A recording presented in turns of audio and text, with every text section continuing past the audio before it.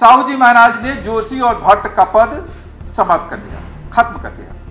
मुख्य संस्थापक है आधुनिक काल को, जिनको तीसरा गुरु डॉक्टर अंबेडकर ने कहा, ज्योतिराव फूले, वो तीन शब्द का एक साथ नाम लेते थे। केवल आप जानते होंगे कि उन्नीस सौ उन्नीस तक एक तरह से ऐसे समुदाय का कोई आदमी अस्पतालों में अपना इलाज नहीं करा सकता। साहू जी महाराज ने, मुझे जहाँ तक याद आ रहा है, उन्नीस सौ उन्नीस में दर्ज है मेरे पास। उन्होंने आदेश जारी किया कि किसी भी अस्पताल में अगर किसी तरीके की इलाज में छूआछूत और भेदभाव बरता जाता है, या तो बर्खास्त कर दिया जाएगा, या ऐसा करने वाले स्वयं लोग इस्तीफा दे करके चले जाएँगे। अस्पृश्यता को पूरी तरह समाप्त करने का आदेश उन्होंने ही जारी, दंडनीय अपराध बना दिया। बधुआ मजदूरी का कानून 1975 में खत्म हुआ है, भारत में। साहू जी महाराज ने अपने राज्य में बधुआ मजदूरी को गैर कानूनी घोषित कर दिया।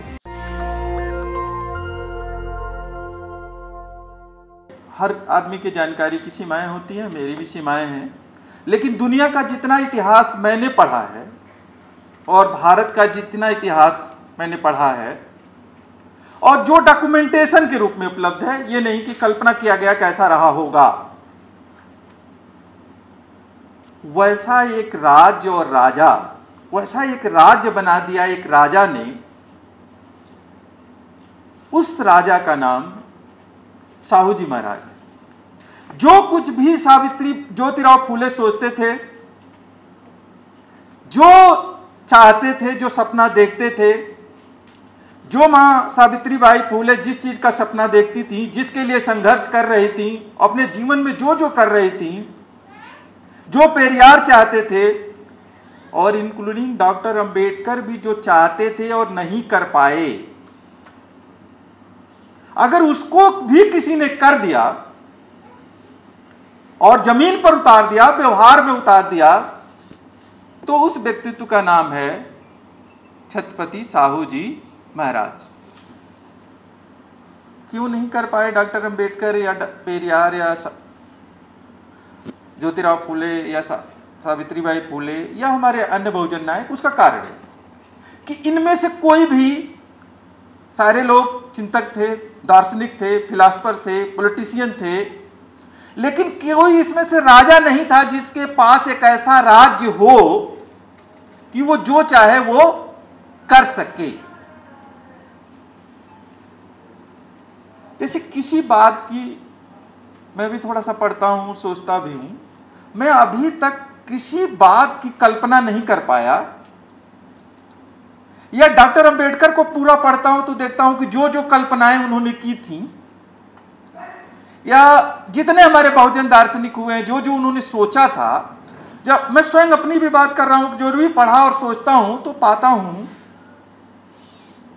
कि साहू जी महाराज कोई ऐसा ऐसा चीज़ मैं सोच पाता हूँ, ऐसी कोई बात आज तक मैं सोच पाया, जिसको साहू जी महाराज ने अपने राज में लागू न किया हो। कोई ऐसा जीवन का पक्ष नहीं है जिसको साहू जी महाराज ने अपने राज्य में जिसको व्यवहार में उतार दे दिया। सबसे पहले हम चाहते हैं कि थोड़ा सा महिलाओं पर बात करें, क्योंकि सबसे कई बार कम बातें होती हैं। कोई कल्पना कर सकता है कि, एक बात और ध्यान देने की है कि जैसे हम लोग साहू जी महाराज के बारे में सोचते हैं तो हमारे दिमाग में अनजाने तरीके से किसी बुज़ुर्ग की तस्वीर आती है। कि कोई बुज़ुर्ग टाइप का आदमी रहा होगा, अनुभवी टाइप का आदमी रहा होगा, ज़रूर बुज़ुर्ग की तस्वीर आती है। हम चाहते नहीं हैं, लेकिन हमारे सामने बुज़ुर्ग की तस्वीर आती है। लेकिन आप लोगों को पता है कि केवल 48 साल की उम्र में ही उनका देहांत हो गया था, परिनिर्वाण हो गया था। हम लोगों में से बहुत सारे लोग यहाँ बैठे हुए हैं, हम लोगों की 48 साल से अधिक उम्र हो गई है। और 20 साल की उम्र में ही वो राजा हो गए। यानी 20 साल के हमारे घरों में हम कहते हैं कि अपने बच्चे से अभी बच्चे जैसा ट्रीट करते हैं कि थोड़ा अनुभवी बनो और थोड़ा जिम्मेदार बनो। वो 20 साल की उम्र में ही राजा बन गए। क्या क्या उन्होंने किया?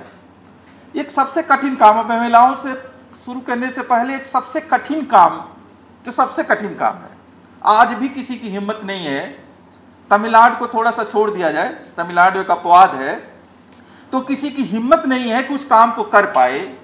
वो काम क्या है? शंकराचार्य को बर्खास्त कर दे और कह दे कि अब ब्राह्मण शंकराचार्य होना ज़रूरी नहीं है और पिछड़ी जात, दलित जात के किसी व्यक्ति को शंकराचार्य नियुक्त कर दे। शंकराचार्य को बर्खास्त कर दे। आज भी ये संभव नहीं है, तमिलनाडु में संभव हुआ, जिसे शंकराचार्य को बर्खास्त कर दिया साहू जी महाराज ने और पिछड़ी जात के व्यक्ति को शंकराचार्य नियुक्त कर दिया। आज भी ये संभव नहीं है कि गाँव में दो होते थे, जोशी और भट्ट। भट्ट जो होते थे वो पुरोहिती करते थे और जो जोशी होते थे, वो भविष्य बताते थे। ये बकायदा पद थे गाँव के और गाँव के लोग इसके लिए क्या करते थे? भुगतान करते थे। साहू जी महाराज ने जोशी और भट्ट का पद समाप्त कर दिया, खत्म कर दिया। मैं धर्म मौल्य पर ज़ोर दे रहा हूँ इस नाते कि यह सबसे कठिन काम है। साहू जी महाराज ने सारे सार्वजनिक मंदिरों को नियंत्रण में ले लिया, या राज्य किसी भी मंदिर को थोड़ी भी मदद पहुंचाता हो, उसको भी नियंत्रण में ले लिया। और जो भी उससे आय होती थी, उस शिक्षा के लिए, स्वास्थ्य के लिए, जनता के कल्याण के लिए खर्च कर दिया। और साहू जी महाराज ने, मैं डॉक्टर अंबेडकर की कह रहा हूँ, डॉक्टर अंबेडकर ने कल्पना की थी, जात के विनाश में उन्नीस छत्तीस, में जो उनकी किताब है, उसमें उन्होंने कल्पना किया है, या एक योजना पेश की थी कि जो पुरोहित होने चाहिए, वो किसी जात विशेष के नहीं होने चाहिए। एक बात प्रैक्टिकली जान लीजिए कि हमारे आपके चाहने से तो रातों रात मंदिर नहीं खत्म हो जाएगा। ना किसी न किसी तरह का मंदिर तो कुछ दिन बना रहेगा, जब धीरे धीरे खत्म होगा। तो डॉक्टर अंबेडकर ने जात के विनाश किताब में एक कल्प, एक योजना पेश की थी कि सारे पुरोहित जो होने चाहिए, बाकायदा उनकी परीक्षा होनी चाहिए, एक पढ़ाई होनी चाहिए, उसकी परीक्षा होना चाहिए, और जो उसमें योग्य हो, उसको पुरोहित नियुक्त करना चाहिए। लेकिन साहू जी महाराज ने इसको योजना नहीं पेश की थी, इसको लागू कर दिया। परीक्षा होती थी, स्कूल खोले जाते थे, जो इसमें योग्य होगा, पास होगा, वही क्या होगा? पुरोहित होगा। इसके लिए तिलक से और उस समय के ब्राह्मणों से कितनी टकराहट हुई उस इतिहास में जाऊँगा तो जो किया था वो बात की मैं चर्चा नहीं कर पाऊँगा। यानी धर्म और धर्म से जुड़े हुए सारे क्रियाकलापों पर राज्य ने पूरी तरह नियंत्रण कर लिया और जैसा कि तमिलनाडु में है, तमिलनाडु में आप जानते होंगे कि पैंतीस हज़ार तो महिलाएँ पुरोहित है। तो ठीक है, अगर पुरोहित हो रहे हैं तो यहाँ बात यहाँ हमेशा जान लीजिए कि हम और आप जो भी गड़बड़ करें, लेकिन हमारे किसी बहुजन नायक ने जिस तरह से वो सोचते थे, दलित के बारे में, पिछड़े के बारे में, आदिवासी के बारे में, उतना ही बराबरी से सोचते थे महिलाओं के बारे में। इसी नाते से हमारे जो हमारे जो मुख्य संस्थापक है आधुनिक काल को, जिनको तीसरा गुरु डॉक्टर अंबेडकर ने कहा, ज्योतिराव फूले, वो तीन शब्द का एक साथ नाम लेते थे, शूद्र, अतिशूद्र और महिलाएँ। वो ये ऐसा ही नहीं कि तीनों तीनों शब्द हमेशा एक साथ इस्तेमाल करते थे, कि कोई सोचता हो को महिलाओं को बराबरी नहीं मिलेगी, पुरुष के बराबर, और दलित और पिछड़े बराबरी ले लेंगे ये उनको स्वीकार नहीं था। किसी बहुजन नायक ने ऐसा नहीं किया है। सब लोगों ने माना है कि अगर दलित बहुजन बराबरी लेते हैं जीवन के क्षेत्र में तो महिलाओं को भी उतना ही बराबरी मिलनी चाहिए। आप कल्पना कीजिए कि जब मैं कह रहा हूँ, बाबा साहब जो सोचते थे, बाबा साहब हिंदू कोड बिल पास कराना चाहते थे। हिंदू कोड बिल के मुद्दे पर ही बाबा साहब ने इस्तीफा दिया था। हिंदू कोड बिल मुकम्मल तौर पर पास नहीं कर पाए। हिंदू कोड बिल मूलतः महिलाओं की आज़ादी से जुड़ा हुआ था कि उनको शादी का अधिकार है, अपनी इच्छा अनुसार शादी करने का, तलाक पाने का, संपत्ति में हिस्सेदारी करने का उनको हक होना चाहिए, यानी महिलाओं को बराबरी मिलना चाहिए, यानी मनु संहिता मिथाक्षरा संहिता या अकबल संहिता जो महिलाओं के बारे में कहती है, उसको खत्म कर देना चाहिए। साहू जी महाराज ने करीब उन्नीस के आसपास ही बहुत ही पहले मिताक्षरा न्याय को खत्म कर दिया। ये घोषणा कर दी कि हमारे राज्य में सभी स्त्री पुरुष क्या है? बराबर है। कोई भी स्त्री, कोई भी लड़की अपनी इच्छा अनुसार शादी कर सकती है, तलाक ले सकती है और पैतृक संपत्ति में उसका भी हक होगा। मितक्षरा न्याय या अकबल स्मृत पर आधारित है। आप कल्पना कीजिए कि बाबा साहब ने जाति तोड़ने के लिए एक बड़ा कार्यक्रम के तौर पर अंतरजातीय विवाह को भी मानते थे। साहू जी महाराज ने बकायदा कानून बना करके और निर्देश जारी कर दिया, अंतरजातीय विवाह को कानूनी बना दिया। महिलाओं के बारे में उनकी चिंता कितनी गहरी थी कि हेल्थ पर बात करेंगे आप लोग तो और कभी विस्तार से, कि साहू जी महाराज को लगा इतना लोगों से रोज अब जानते हैं कि राजा होते ही उन्होंने पूरे राज का कई बार दौरा किया था और सबसे आम आदमी से मिलते थे। तो उनको लगा कि ये जो पुरुष डॉक्टर हैं, इनसे दिखाने में महिलाएँ दिक्कत महसूस करती हैं, उनके पास जाति नहीं है। एक तरीका तो ये कहा जाए क्यों नहीं दिखाती हो, लेकिन चाहने से तो नहीं होता है, दिक्कत महसूस होती है तो उसकी व्यवस्था। राव जी महाराज ने बड़े पैमाने पर बाहर से बुला के, विदेश से बुला के, ईसाई मिशनरियों से बुला के महिला डॉक्टरों की नियुक्त की, ताकि महिलाएँ अपना इलाज करा सकें, अपनी प्रसव करा सकें। निःशुल्क एक पाँच सौ और एक हज़ार जनसंख्या पर जो स्कूल खोला था, उसमें विशेष तौर पर ज़्यादातर स्कूल खोले गए थे लड़कियों के लिए। दलितों पिछड़ के लिए खोले गए थे लड़कियों के लिए। साहू जी महाराज ने दलितों के संदर्भ, जिन्हें यहाँ दलित कहते हैं, यानी एस कहते हैं, हम औपचारिक तौर पर संविधान की भाषा में, उस समाज के लिए जितना काम किया है, अगर केवल उसकी चर्चा की जाए तो मैं समझता हूँ कि सौ सौ डेढ़ सौ पेज की किताब बनेगी। बहुत सारी चीज़ें तो आप लोग जानते हैं उन चीज़ों को मैं बहुत ज़्यादा दोहराता नहीं हूँ। जैसे दो बड़े का गुलामी की वजह थी। बलुदारी और वतनदारी प्रथा। मैं उसके विस्तार में नहीं जाऊँगा। साहू जी महाराज ने दोनों प्रथाओं को खत्म कर दिया। एक के तहत क्या होता था कि एससी समुदाय को थोड़ी सी ज़मीन दे दी जाती थी और उसके बदले में उनको पूरे गाँव की सेवा करनी होती थी। वतनदारी थोड़ी ज़मीन के बदले में दासत्व तो था, उसको भी खत्म कर दिया। और ज़मीन का मालिक बना दिया, और मालिक ही नहीं बना दीजिए, आज भी कल्पना नहीं है कि गाँव का अधिकारी बना दिया एससी समुदाय के लोगों से। कि गाँव का जो कुलकर्णी अधिकारी होगा, वो एससी होगा। और प्रैक्टिकली तो आप जानते ही थे कि प्रैक्टिकल कितने थे, कि आप वो सब घटना तो बार बार चर्चा होती है, आप लोग जानते ही हैं, कि उन्होंने एक एससी की दुकान खुलवाई। बहुत बार चर्चा होती है दोहराने की कोई बात नहीं है तो लोग चाय पीने नहीं जाते थे। तो साहू जी महाराज खुद और अपने मंत्रिमंडल के लोगों से लेकर के लेकर के जाकर के उस दुकान पर चाय पीते थे। ताकि ये जो मिथक है, ये टूट जाए, खुद जाके पीते थे। आदिवासियों के बारे में कितने चिंतित थे, जो चीज़ बहुत बाद में, अभी अंतिम कानून तो अभी थोड़े दिन पहले खत्म हुआ है कि कुछ न कुछ आदिवासियों को, आपराधिक जातियों के रूप में अंत तक बना रहा है। अंग्रेज़ों के जाने तक भी बना रहा है। थोड़ा थोड़ा करके खत्म हुआ है। साहू जी महाराज ने अपने राज्य में जिन आदिवासियों को, आदिवासियों के लिए घोषणा थी कि इनको आपराधिक जाति घोषित कर दिया जाए और सप्ताह में आकर के उनको थाने पर वो देना है, हाजिरी देना है। वो न कारोबार कर पाते थे, न व्यापार कर पाते थे, न कहीं जा पाते थे। साहू जी महाराज ने पूरी व्यवस्था को खत्म कर दिया। और इतना ही नहीं, वो प्रैक्टिकली जानते थे कि ये कानून खत्म करने से केवल नहीं होगा। उनमें से बहुत, कई सारे को अपने साथ रख लिया। ताकि ये जो मिथक है कि अपराधी हैं और ये अरे बेहतर इंसान नहीं है, इसको तोड़ दिया जाए। फिर भी हम लोग बात करते हैं। आप जानते होंगे कि हेल्थ सिस्टम पर मैं बात नहीं कर रहा हूँ। हेल्थ सिस्टम का मतलब ये नहीं होता। हर तालुका में उन्होंने निशुल्क, अनिवार्य और सबके लिए समान शिक्षा साहू जी महाराज ने व्यवहार में लागू कर दिया।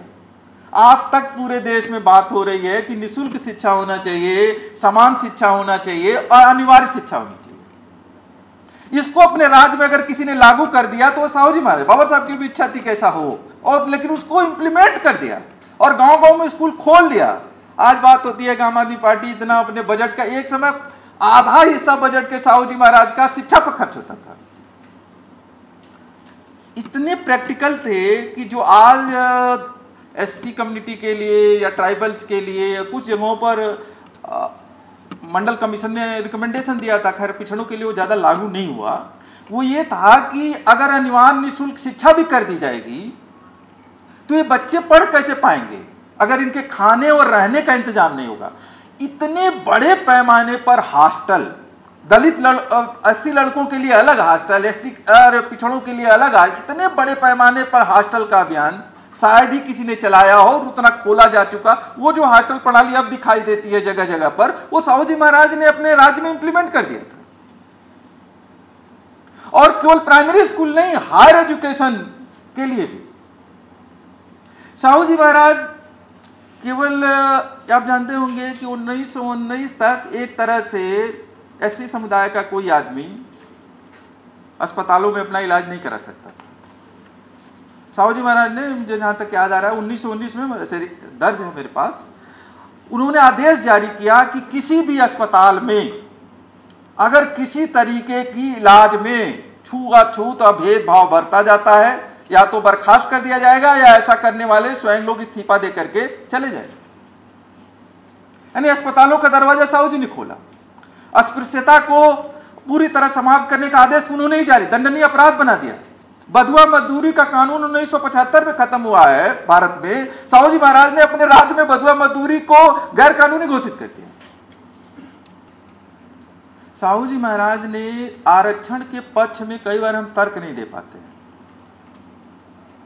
साहू जी महाराज जितना बेहतरीन तर्क कि आरक्षण क्यों ज़रूरी है? पृथक निर्वाचन मंडल भी बाबा साहब का मूल प्रस्ताव नहीं। पृथक निर्वाचन मंडल का प्रस्ताव साहू जी महाराज ने प्रस्तुत किया था। उन्नीस में बकायदा चिट्ठी लिख करके।